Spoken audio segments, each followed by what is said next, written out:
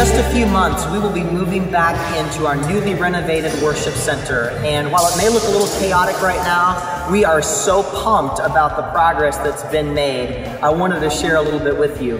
You know, we've invested a ton into our music ministry and to these spaces, which are going to allow us to make such an impact on our community and on our church in the days ahead.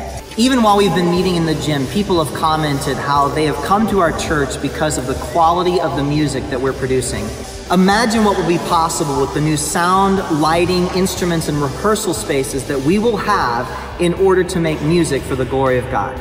This renovation includes a brand new choir room complete with built-in risers. We're built right underneath the balcony where the contour of the balcony steps creates sort of a natural band shell that is going to enhance the acoustics of the room and make this a great room to make great music.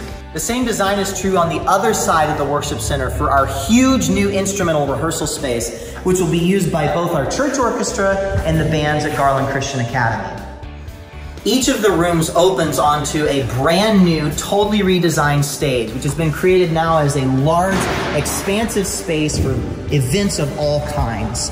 And then rising up above the stage is a four row choir loft. And I'm pretty sure one of those seats has your name on it. Our sound booth has been relocated to this great spot up in the balcony where our sound and lighting operators can create an amazing aural and visual experience for our congregation. Our old sound room has been enclosed and soundproofed and now will be the new broadcast room for our live stream.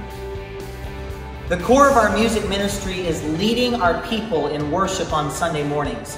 But we envision a day where Lavon Drive is a hub for community music activities, for events and concerts and conferences, where people who might not have otherwise stepped foot in Lavon Drive can come for the first time and experience the warmth and friendliness of our people, and most importantly, the love of the God who we serve.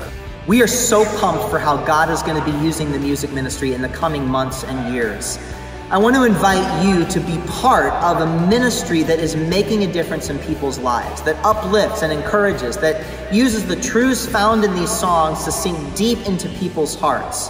The opportunity is there to be part of the launch team the choir, the orchestra, the tech team that propels Lavon Drive into the next generation of ministry. You know, you don't have to be an amazing singer or an expert sound guy in order to be part of the team. That's why we have a team and rehearsal spaces to grow and to teach and to train to become better worshipers and worship leaders. All we need are people who have a servant's heart, that love God and want to serve others, and we can teach and train the rest. Contact me or any member of the music ministry team, and we would love to share with you more about what God is doing through this incredible ministry. And together, let's do something great for God.